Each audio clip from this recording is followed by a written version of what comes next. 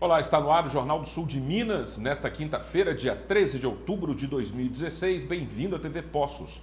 Para nós é sempre um motivo de grande satisfação contarmos com a sua audiência, com a sua participação, com a sua companhia, perguntas e opiniões. Hoje nós vamos conversar aqui com a irmã Gislene Aparecida Lourenço. Ela é do Santuário da Mãe Rainha de Xansta e vem aqui nos falar a respeito das comemorações em relação à Mãe Rainha, que está é, graças a Deus aqui nos guarnecendo, nos cobrindo com seu manto hoje e todos os dias, né, especificamente com a sua imagem presente hoje aqui no, no nosso estúdio. E eu cumprimento aqui a irmã Gislene. Tudo bem? Bem-vinda. Tudo bem, obrigada. É um prazer estar aqui. E hoje, de modo todo especial, trazendo a nossa mãe rainha tão querida para o nosso povo. Sem dúvida nenhuma, muito querida mesmo. E também conto com a colaboração de Carlos Camargo. Tudo bem, doutor Carlos? Bem-vindo. Bom dia, Bom dia, Zambrano. Bom dia, telespectadores. Bom dia, diretor Ildeu Pereira e todos os funcionários da, TV Pós. Bom dia, irmã. Bom dia. E obrigado pelo convite. Mais uma vez, estamos aqui à disposição para batermos esse papo matinal. E a quem nos assiste à noite, o nosso cordial boa noite. E, irmã Gislene, temos aí vindo numa sequência de comemorações em relação a Maria, né? Sim. E a comemoração da Mãe Rainha acontece no dia 18 e o evento será no dia 17, é isso? Isso. Né? Todo dia, é, cada 18 de cada mês, celebramos a festa da aliança, o dia da aliança de amor, né? E o dia 18 de outubro é o dia que nós comemoramos a Mãe e Rainha oficialmente. Como cairá num dia de semana, difícil para podermos reunir o nosso povo. Então, nós vamos celebrar esse Dia da Mãe Rainha no dia 16 de outubro, que é neste domingo, então, a grande festa da Mãe Rainha no santuário. E quais serão as atividades? As atividades começarão a partir das 9 horas, né? Temos é, momento de adoração, temos também a reza do terço. Quem vai fazer essa reza do terço será o terço dos homens, né, que irá configurar esse momento.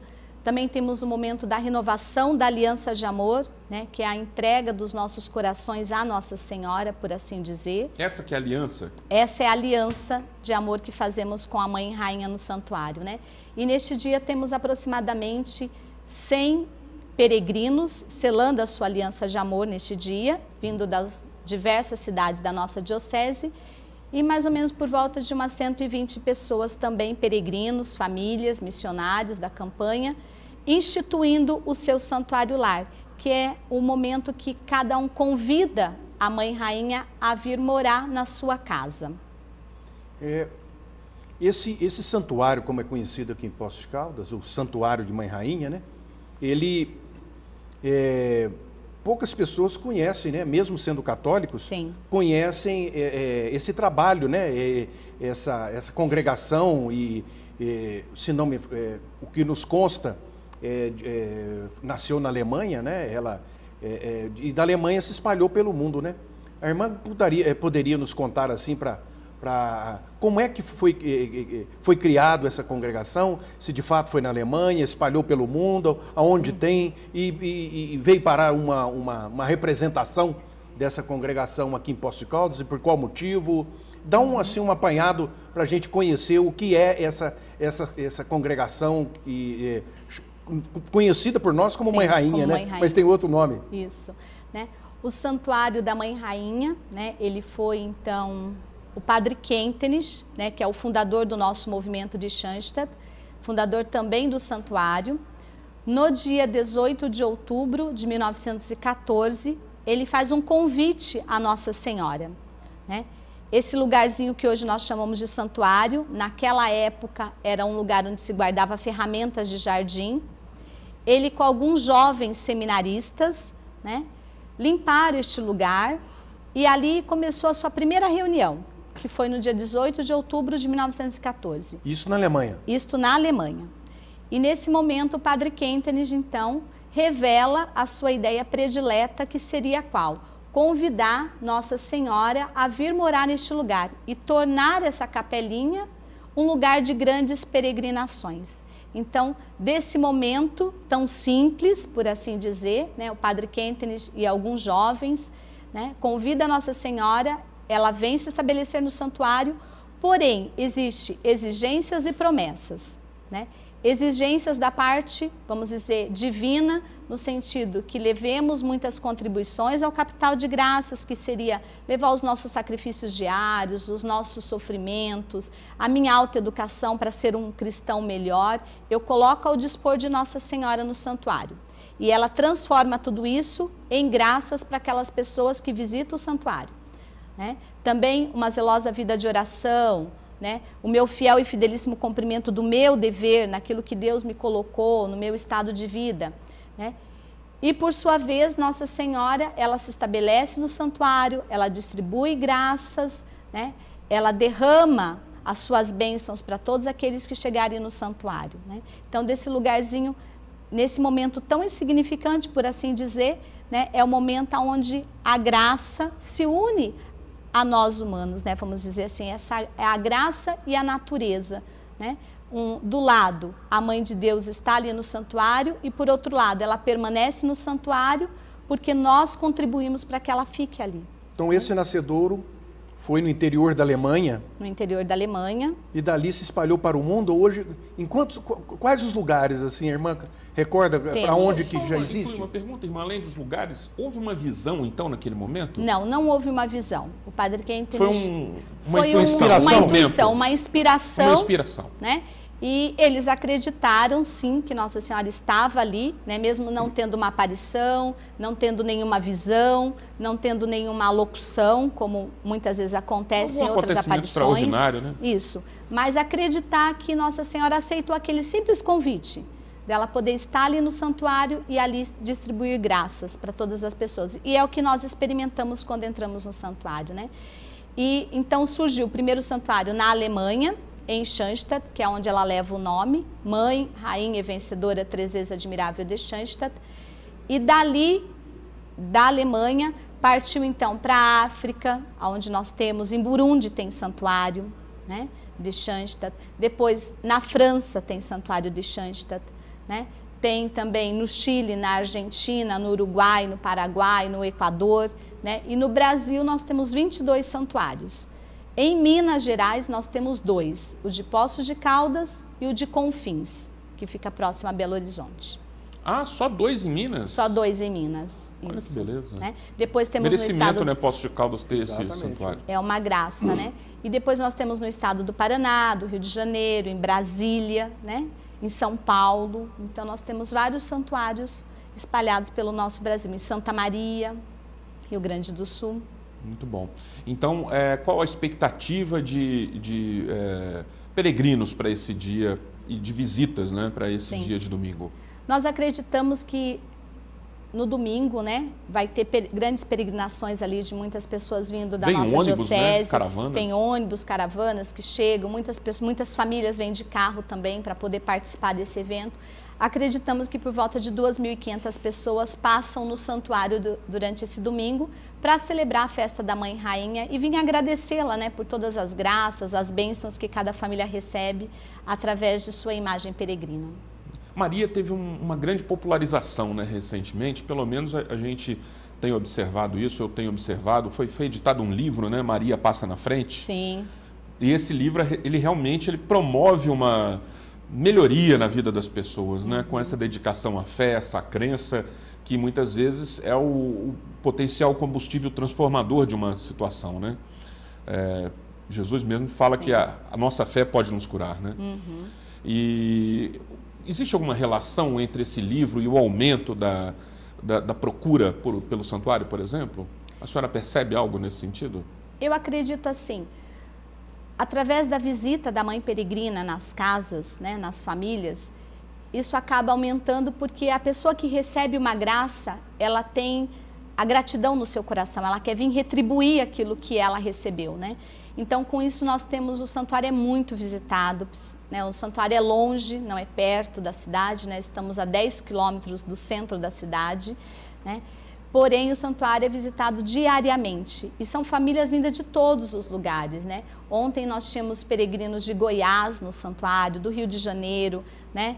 Do estado de Brasília. Então, assim, peregrinos que vêm de muito longe, vêm visitar a nossa cidade e acaba peregrinando, né? Esse livro Maria passa na frente, eu acredito que venha para contribuir ainda mais para a devoção a Maria, né? Eu acredito que o nosso povo ele é muito mariano, é. né? ele gosta de Maria. Maria se faz presente no nosso povo. Às vezes não importa nem a crença que nós estamos, né? o que nós acreditamos, mas nós temos esse carinho, esse amor pela Mãe de Deus. É muito bonito esse livro. Eu tenho. Uhum. O, a, essa congregação, ela é, ela, ela é católica apostólica romana, né? Isso. Uhum. E o católico apostólico romano, é, ele trata, né, a, vamos dizer, a, a, mãe de Jesus, né, a Maria de Nazaré, é como Nossa Senhora, né? uhum. né? E aqui no Brasil, Nossa Senhora Aparecida. Uhum. E vocês da, da, a tratam como Mãe Rainha. Isso. É. É, existe uma, um, um porquê disso? Ou não seria até mais popular, mais fácil, Nossa Senhora? ou Aparecida, ou Nossa Senhora, mãe, mãe de Jesus, alguma coisa? Porque foi Mãe Rainha. Uhum. Vamos dizer assim, Nossa Senhora é uma só, né? a mãe de Deus é uma só, porém ela vem revestida de vários títulos. Né? É como se, vamos pensar assim, como se a gente tivesse um apelido, né? Eu me chamo Irmã Gislaine, mas algumas, algumas pessoas podem me chamar às vezes de um de apelido, G. de Gi, né? Abreviar meu nome. É. Ou de repente alguém pode me chamar de Lourenço, que é o meu sobrenome, né? Então, dessa forma também nós temos com Nossa Senhora, né? Ela é uma única, mas nós damos vários títulos para ela, né? Então nós chamamos ela carinhosamente de Mãe Aparecida, nós chamamos ela carinhosamente de Nossa Senhora de Fátima, Nossa Senhora de Lourdes, Nossa Senhora de Guadalupe e chamamos ela também de Mãe, Rainha e Vencedora, três vezes admirável de Xanta, né? E o nome Mãe, Rainha e Vencedora, três vezes admirável de Schanstatt, vem do local aonde foi convidado Nossa Senhora a se estabelecer. Né? Então, ela recebe esse título de Mãe, Rainha e Vencedora, três vezes admirável de Schanstatt, né? no momento onde houve esse convite para que Nossa Senhora viesse morar nesse lugarzinho que é o nosso santuário. Né? Assim também como aconteceu em Aparecida, né? a mãe foi pescada né? e dali surgiu toda essa devoção, esse carinho por ela, assim como Nossa Senhora de Fátima com os três pastorinhos, assim como Bernadette teve a visão de Nossa Senhora de Lourdes, né? e assim vai recebendo o seu nome. E eh, a gente vai continuar nesse assunto. Se você quiser participar fazendo perguntas, falando sobre o tema, o nosso telefone é o 37216955. Pela rede social, você pode participar através do endereço facebook.com barra Jornal do Sul de Minas. Dê um curtir na nossa página. Nós vamos ao intervalo, voltaremos em instantes.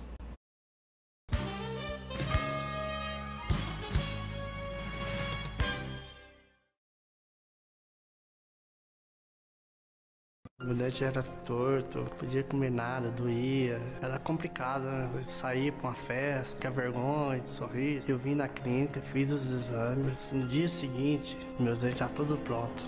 Hoje eu posso sorrir, conversar tranquilamente. Muito bom. Eu imaginava que ia ficar bom, mas não ficar tão bom ficou, né?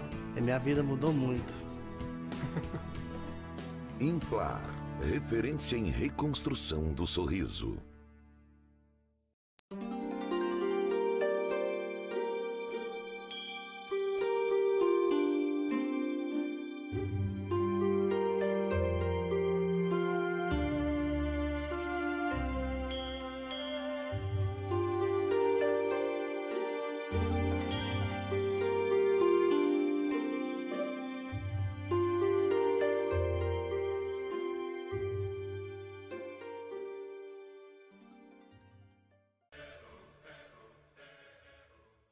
Atenção corredores de pós-caldas. A comunidade terapêutica São Francisco os convida para a terceira corrida beneficente, que será realizada dia 23 de outubro, às 8 horas da manhã, no Santuário da Mãe Rainha. Inscrições na Casa de Tinta São Julião, Place Beach Sports, Loja do Varal, Seven Fit Store e Copos. Venha fazer parte dessa causa.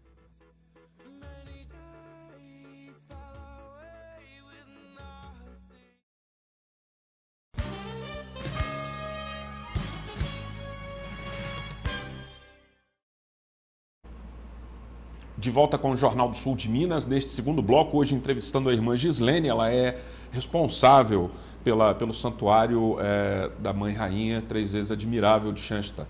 E o santuário, irmã, tirar uma dúvida, ela, ele não é uma paróquia, né? ele é um, um, local específico. Como é que é uma definição dentro dessa hierarquia, vamos dizer assim, do nosso, é, do nosso bispo aqui Sim. de Guaxupé? É, o santuário realmente ele não é uma paróquia, né?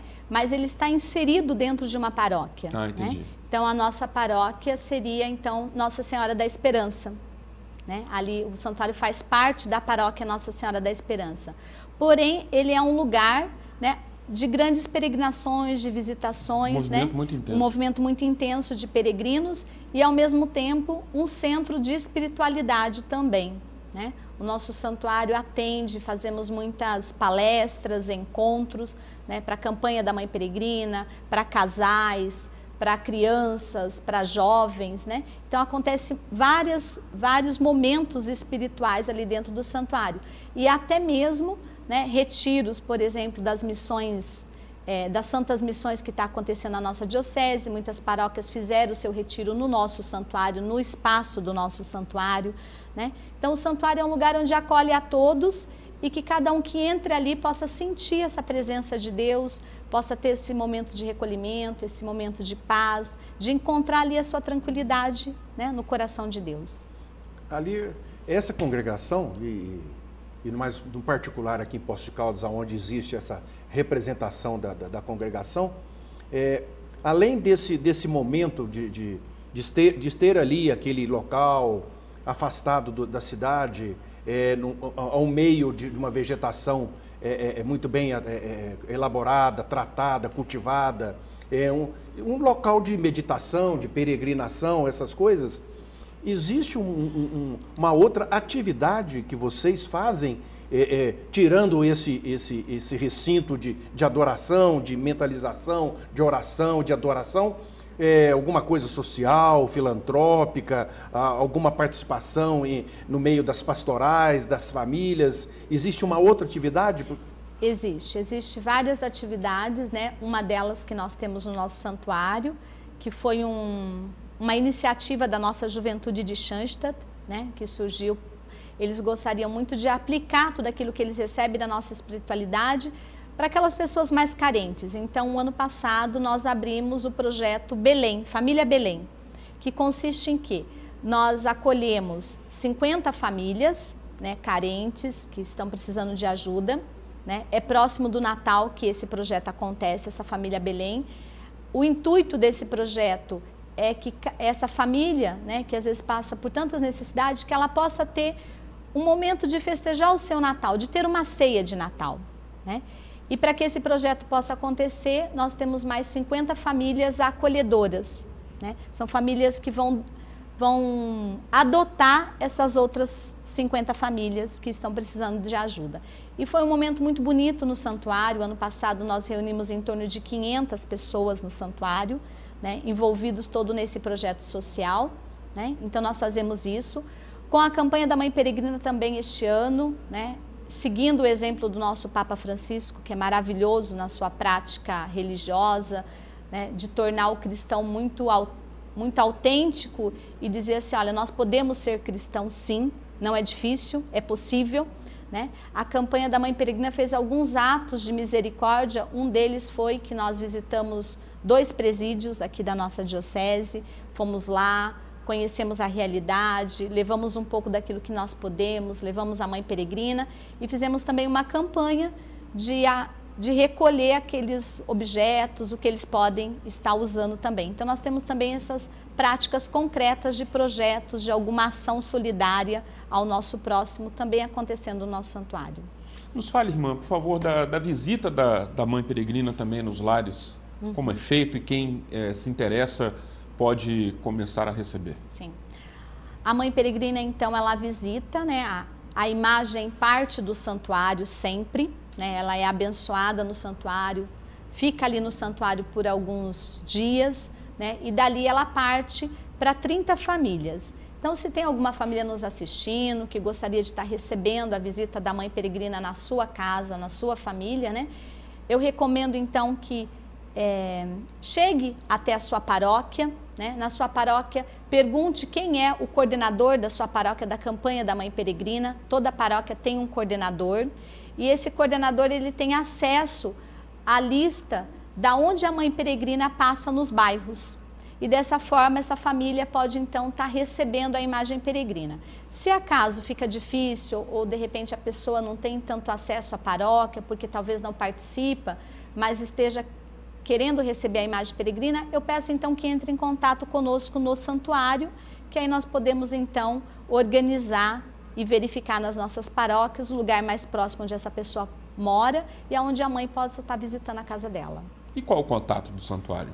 O contato do santuário pode estar nos ligando, né, no telefone 37135592, né? Ou então via e-mail também pode ser santuário fonte de vida nova arroba gmail.com. Então é uma forma de estar podendo entrar em contato conosco. A gente observa hoje, irmã, que é, a vocação religiosa, no, no, no sentido da, da religião católica apostólica romana, ela vem ano a ano é, diminuindo, né? E, e, e, dizemos assim, até uma raridade nós encontrarmos uma irmã, né? Com o hábito, né? De, é, então isso hoje é, é, antigamente, ou antigamente eu digo, uns 30 anos atrás, é, era comum isso. Era né? mais comum. Hoje, hoje é raro, né? Então, é, é a irmã tão nova, né? E, e, e se puder nos passar assim um breve relato de como foi essa sua é, seu despertar, vamos assim dizer, para uhum. a vocação, porque por que você entrou para essa missão? Porque é uma missionária, Sim. né? Por que entrou nessa missão e, e, que hoje os jovens preferem é, é outras coisas, outras é, é, é, outros estilos de vida do que isso de religiosidade, acolhimento, de, de, de, de oração e de entregar a sua vida aí à, à, à causa religiosa. É, isso, já por esse ato, já uhum. se transformando numa coisa rara, como Sim. é que a irmã veio a ter essa, essa vontade assim? Boa pergunta. Boa pergunta mesmo, né? Como é interessante, né? Muitas vezes nós todo pensamos, mundo quer saber, todo mundo quer saber, né? Muitas vezes nós pensamos que o padre ou uma vocação religiosa, ela já nasce, né? A gente já, sei lá, a gente já nasce com essa vocação, né? E desde pequenininho a gente já desenvolve. No meu caso foi bem diferente, né? Eu venho de uma família que nós tínhamos duas denominações religiosas dentro da minha casa, né? A minha mãe era católica, o meu pai era protestante. Então, nós sempre participamos das duas igrejas muito tranquilamente, nunca ouvi meus pais brigarem por religião na minha casa. Pelo contrário, para mim sempre foi muito bom vivenciar essas duas partes, né? Então, eu nunca, na verdade, de pequena, nunca pensei em ser irmã, né? O meu pensamento era casar, ter filhos, acho que como qualquer outra jovem, muitas vezes, né? Trabalhar, ter uma profissão, né? Me realizar enquanto pessoa mas religiosamente eu nunca havia pensado em ser religiosa, né? E no entanto, né, como Deus usa de caminhos variados para nos chamar, eu digo assim, né? Eu tinha uma amiga que era muito amiga na minha adolescência e essa minha amiga foi para as irmãs de Maria de Chanster em Londrina, né, onde nós morávamos. Ela foi para a casa das irmãs passar uma temporada, né? Verificar se realmente era sua vocação. E isso foi no período de férias, quando eu voltei, a minha amiga não estava mais lá, e eu fiquei sabendo então que ela foi para lá. E eu pensei, não, se ela foi, eu também vou. Por que não também me questionar na minha vocação, né? E o interessante é que eu fui para lá, descobri realmente a minha vocação, me encontrei nessa vocação religiosa, em ser irmã de Maria, em entregar minha vida a Deus, né? Essa minha amiga hoje, ela não é religiosa, né? Ela saiu, ela tem cinco filhos, belos filhos até, a Simone, né? E, no entanto, eu fiquei irmã, né? Para minha família não foi fácil, né? Para minha mãe, ela era viúva, né? Sou a mais velha de cinco filhos. Então, quando eu saí de casa, era muito nova. Então, não foi fácil para ela. Foi? Eu fui com 17 anos para ser irmã. Né? Então, foi difícil para minha mãe aceitar essa, por mais que ela era católica, né? era difícil ela aceitar a minha vocação religiosa. Então, passou-se um tempo longo na minha caminhada enquanto irmã para minha mãe poder aceitar, reconhecer que esse era meu caminho mesmo, era uma coisa que eu queria, né, que eu me realizava nisso, que eu não estava infeliz, que eu não fui para uma, como as pessoas falam, para o convento, né? Eu não fui porque tive uma decepção religiosa, porque estava revoltada com a vida, não Eu fui porque senti o chamado de Deus e me realizo nisso. Eu sou feliz na minha vocação religiosa. Né? Hoje eu posso dizer com muita segurança, eu não consigo me ver em outra vocação a não ser a minha vocação religiosa. Né? Eu consigo ser feliz, né? mas essa felicidade não, inclui, não exclui sofrimentos, dificuldades também, como qualquer outra vocação né? também inclui. Então, essa foi a minha trajetória vocacional mesmo. Eu descobri a minha vocação através desse chamado da minha amiga, né? que no final não ficou religiosa, mas eu me descobri nela também. É, boa pergunta, no... saiu uma história boa. E, e, a condição humana da gente, ela se sobrepõe a Sim. essas questões, né? Uhum. Porque não deixamos de ser humanos, não. não, deixamos de sentir o que é preciso uhum. sentir, o que o nosso, a nossa fisiologia nos apresenta, Sim. né? Então é realmente uma, uma, bonito, uma bonita história de vida, uhum. de, de, de, transformação Sim. e de transposição a diversos problemas, diversas dificuldades. Essa vocação, irmã, é, em todas as vocações, não só a religiosa, mas em todas as vocações, né? uhum. né? Como a irmã mesmo disse, a gente é, sempre nasce com uma certa vocação, né? uhum. né? E, e, independente de qual seja, é, a gente é sempre colocado à prova, né? É uma, uma questão de, de, de, de foro íntimo. Sim. A gente sempre é colocado à prova. Será que é isso mesmo uhum. que eu queria? E muitas pessoas acabam é, é, mudando, vamos dizer assim, da chamada vocação e encontram à frente a verdadeira vocação.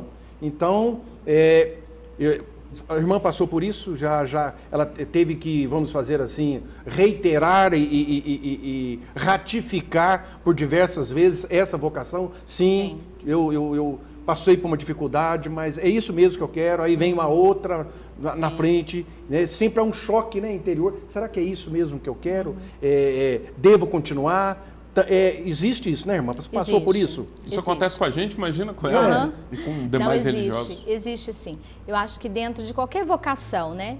A vocação religiosa também existe esse momento que você você pensa, né? Será que realmente eu estou no caminho certo? Será que realmente eu estou fazendo aquilo que é correto? Eu estou me realizando na minha vida ou não? Né? E tem certas coisas externas também que nos leva a questionar a nossa vocação. Né? Será que realmente é isso que eu quero? Então, tem momentos sim. Eu sempre falo, o meu instituto é maravilhoso porque é esse que eu me descobri vocacionalmente, né? Mas a, a minha caminhada de religiosa são de oito anos e meio dentro do instituto. Então, durante esses oito anos e meio, né, existe pausas no qual nós, o instituto nos questiona né? E nós nos questionamos para o Instituto também. Existe, durante esses oito anos e meio, esse, esse acompanhamento para descobrir se realmente é isso que eu quero. E depois, desse, depois desses oito anos e meio, eu sou uma irmã perpétua. Né? E depois do meu perpétuo, eu também posso me questionar na minha vocação também. Né? Então, existe sim. E eu acredito que são momentos de medo, momentos de angústias, mas que nada a gente pode resolver através da oração, né? E sendo também muito realista consigo mesmo, né? Eu acho que a maior dificuldade hoje é nós nos enfrentarmos, né? Nós temos medo de olhar para nós mesmos e descobrir quem somos, né? E aí é o momento que às vezes a gente pode buscar outras saídas que não vão nos trazer felicidade, né? Então a gente saber, existe sim, nós vamos passar por isso, passamos por dificuldade, por dúvidas, vamos nos questionar, mas nós podemos olhar para dentro de nós e descobrir: é isso que eu quero, apesar é. de toda a dificuldade. Eu gosto muito de uma fala do Santo Agostinho que fala: Senhor, aumentai a minha fé. Alguns Sim. atribuem a ele, né? Uhum. Tem outros, outras vertentes Sim. também. Mas é, eu penso nisso porque eu acho que a fé é uma construção também, né? Uhum. Eu acho muito difícil, assim, na nossa realidade, encontrar uma pessoa com uma fé verdadeiramente inabalável. Uhum. Eu vejo que é essa construção que a, a solidifica cada vez mais, né? Sim. Dia a dia, é, uhum. através das dificuldades, fortalecemos ela. Então, ah, vamos a um novo intervalo, é rápido, voltaremos em instantes com o Jornal do Sul de Minas, aqui na TV Poços.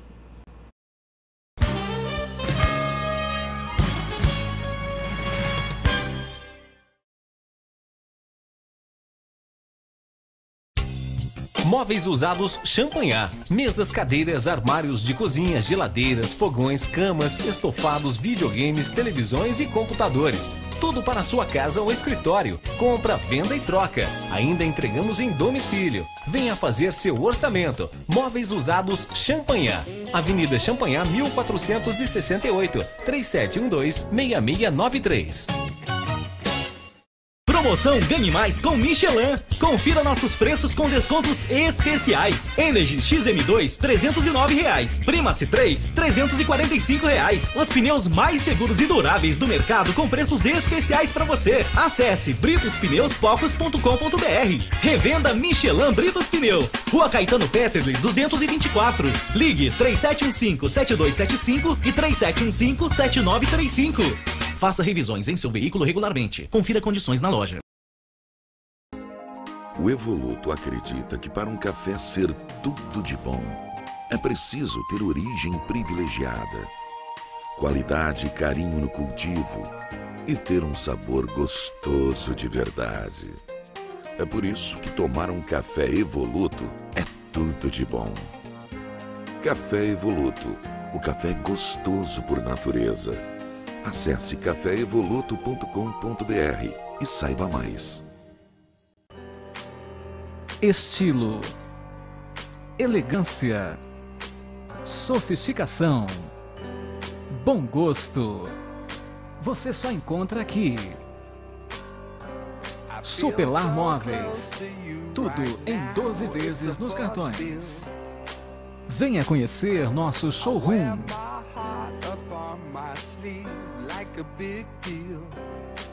Superlar Móveis, em Poços de Caldas, Rua Correia Neto, número 25.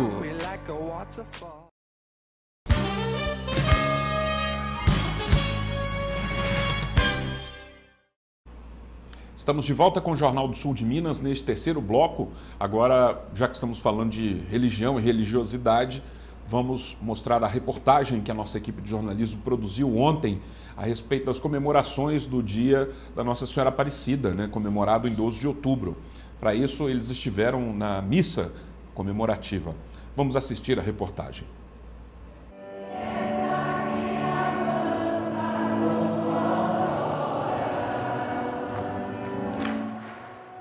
Igreja lotada, cheia de fiéis de Nossa Senhora Aparecida. Afinal de contas, hoje é o dia dela e muita gente veio agradecê-la pelas graças alcançadas. A gente é católico, então esse dia é especial para a gente, né? O dia da mãe.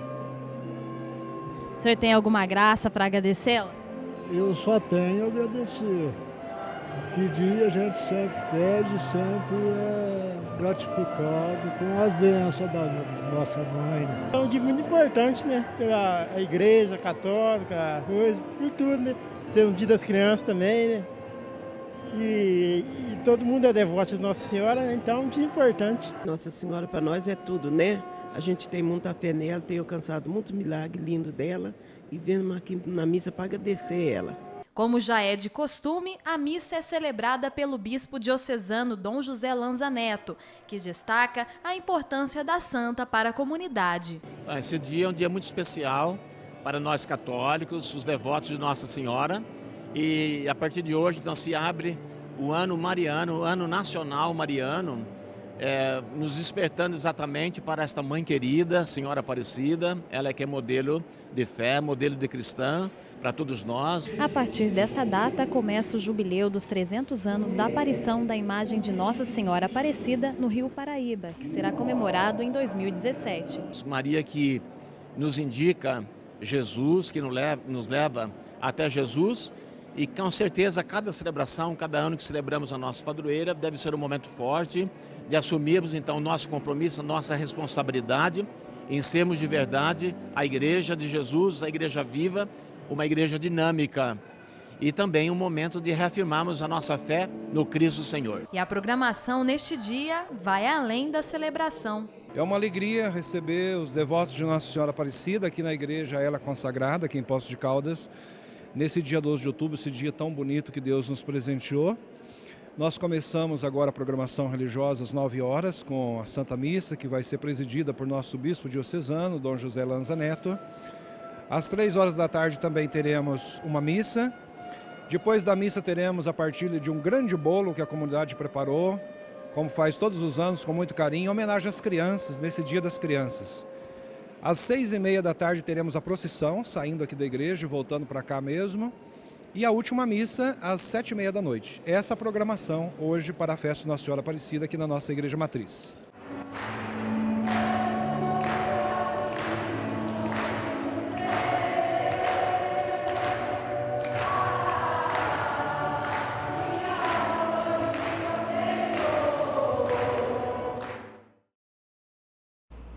Muito bonita a comemoração, né? sem dúvida nenhuma.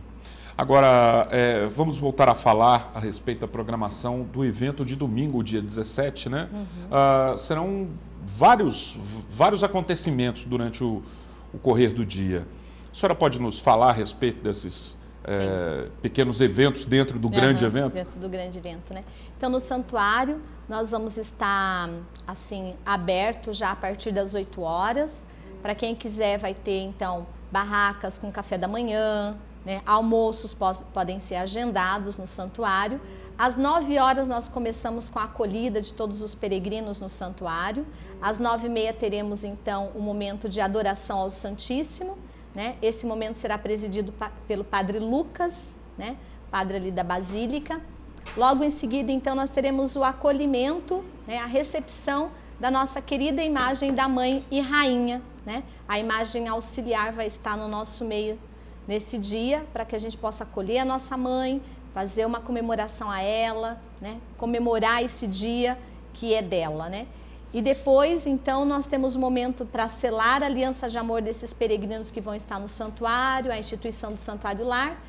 E aí finalizamos ao meio-dia com o momento do almoço e retornamos às 14 horas com a reza do terço né, configurada pelo terço dos homens da nossa cidade. E às 15 horas teremos a Santa Missa. Irmã, eu, eu vou fazer mais uma pergunta a respeito da vocação religiosa. Uhum. E como eu havia dito, né, isso vem se tornando uma, uma raridade, porque eu me lembro até na minha terra, em Pouso Alegre, existia lá um, um, um colégio, Santa Doroteia, colégio de freiras, né? existia, eram as, as, cidades maiores, sempre tinha um colégio de padres, que a gente chamava, colégio de freiras, né? Uhum. E isso com o tempo foi, foi acabando, foi acabando, e a, a vocação diminuindo, diminuindo. É, corre o risco de chegar um momento que, como que a senhora tem percebido isso? É, as pessoas vão ficando velhas, vão se, vão se afastando por motivo de idade, de doença, e não vão entrando os novos. É, corre o risco da própria da própria instituição ou, ou, ou, ou da própria do, do, dessas é, é, partes religiosas chegar a um ponto de estar aí comprometida a sua subsistência material, tendo em vista essa falta de pessoas? Vai, será que vai chegar um tempo que os leigos é que vão tomar conta da, de todas essas instituições religiosas? Eu acredito que é um risco, sim. Né? Acho que em todo lugar, quando não há essa renovação né, de, de outras pessoas entrando dentro do movimento pode correr. Principalmente na, na questão religiosa, sim, a gente percebe quantas comunidades religiosas hoje fecharam as suas casas. Né? Aqui, aqui em Poços de Caldas aconteceu com as irmãs ali que trabalhavam na Santa Casa, né? Eu não cheguei a conhecê-las, mas me contaram que elas faziam um bom trabalho, porém, por essa falta de vocações, acabaram tendo que fechar a sua casa aqui em Poços de Caldas. Então, há esse risco sim. Mas eu acredito também que, por outro lado, o jovem também tem um grande anseio no seu coração. A vocação, ela não é dada, não sou eu que me escolho, né? Eu sou escolhido por Deus. Então, eu acredito que, como a vocação é algo divino, é algo que é um chamado de Deus, né? Eu acredito que não se acabe. Porém, pode se tornar difícil tomar decisão para essa vocação. Né? Hoje, muitas, hoje, muitos jovens se questionam na sua vocação, mas têm medo de tomar o primeiro passo. Dar esse primeiro passo. Por que não experimentar uma vocação religiosa? Por que muitas vezes não conhecer uma instituição religiosa, né? talvez não ter aquele comprometimento de já ser irmã, né? mas de fazer um acompanhamento para descobrir se realmente é sua, a sua vocação. Então, acredito que hoje existe um medo muito grande de se tomar decisões. Né? e de permanecer nas suas decisões também. Então, que talvez isso seja um questionamento que se torne mais difícil o desenvolvimento da vocação hoje. Né? E vamos, vamos, supor, né, uma hipótese, que a, a, alguma, a, alguma telespectadora que esteja no, nos assistindo é, é, sinta essa vontade de conhecer mais de perto, uhum. ou, ou, de checar se de fato ela tem essa vocação. Porque muitas das vezes as pessoas acham que tem, depois que ela vivencia uhum. aquele local, aquele momento, passa a conhecer como é que funciona, fala, bom, não, não é isso bem o que eu queria, o que eu achava, eu pensava que fosse outra coisa. Uhum. Então existe esse, esse, essa pré-admissão, né, logicamente. Sim. E então, caso alguém se interesse, vamos dizer assim, como é que ela, qual seria o caminho a ser percorrido? Então, o que eu posso orientar seria, né, se alguém é, que está nos assistindo, às vezes tem um filho que de repente se questionou em relação a isso, ou você sabe de alguém que tenha se questionado, eu acho assim, procure, pode nos procurar no santuário, né? nós estamos ali à disposição, podemos ajudar nesse encaminhamento, podemos ajudar a sanar algumas dúvidas, algum questionamento juntos, né? Mas o recado que eu deixo para o jovem, né? Se você tem essa vontade no seu coração hoje, vá atrás dela, né? Não deixe para depois, né? Eu acho que isso é muito importante na nossa vida, nós não lamentarmos daquilo que nós não fizemos. Né? Verdade. Eu acho que a gente tem que ter a coragem de arriscar sim. E se não for, você não perdeu tempo. Né? Nada na nossa vida é uma perca de tempo, é uma construção e, e é algo que vai contribuir para o seu desenvolvimento. Então tenha essa coragem, jovem, vai procurar, né? Pode nos procurar no santuário, se for o caso, mas também pode procurar às vezes um padre na paróquia, né? Quer nos mandar um e-mail, quer se comunicar conosco, estamos totalmente à disposição para ajudar. Né? Seja feliz e busque a sua felicidade encontrando aquilo que você gosta e aquilo que você vai se realizar. Ok. É, eu acabei de receber aqui a revista Clínica, que esse mês apresenta aqui o doutor Ramiro, a Daniela também. Parabéns aí ao jornalista é, Jonathan Rosa pela, pelo desenvolvimento dessa, desse trabalho. Então, aproveite, irmã, faça o convite aí para que as pessoas participem também do domingo, né, de celebração, o, dia do, o Dia da Aliança. Dia da Aliança, né? Então eu gostaria de convidar cada família que está nos assistindo nesse momento, né, para que venha no santuário com a sua família, venha festejar a nossa Mãe Rainha, venha receber as graças do santuário, né, e façamos desse dia um dia de graças, um dia de bênçãos para todos aqueles que chegarem ao santuário. Nós vamos estar esperando cada um de vocês, mas de modo todo especial. É a Mãe Rainha que está esperando os seus filhos para festejar com ela o seu aniversário, a sua data tão importante, que é a sua presença no nosso santuário. Então, venha festejar conosco, traga a sua família, traga aquela pessoa que está visitando o Poço de Caldas, que ainda não conhece o santuário. Então, venha participar conosco desse grande dia. Além desse dia, irmã, que é esse dia é, é, vamos dizer, central, né? Uhum. De, de, confraternização, de adoração é, lá no santuário. É, os outros dias do ano, é, é, as pessoas que se interessarem a, se dirigirem lá, sendo de postos ou de fora, é, como é que é? É aberto a visitação? Como é que funciona isso no, no restante do, do, dos dias do ano? Sim, é aberto ao público, né? o santuário ele é aberto das 8 horas até as 17 horas, todas as pessoas podem nos visitar. Aos domingos temos missa todos os domingos às 15 horas no santuário. Né? Às 14 horas no domingo nós temos a reza do terço.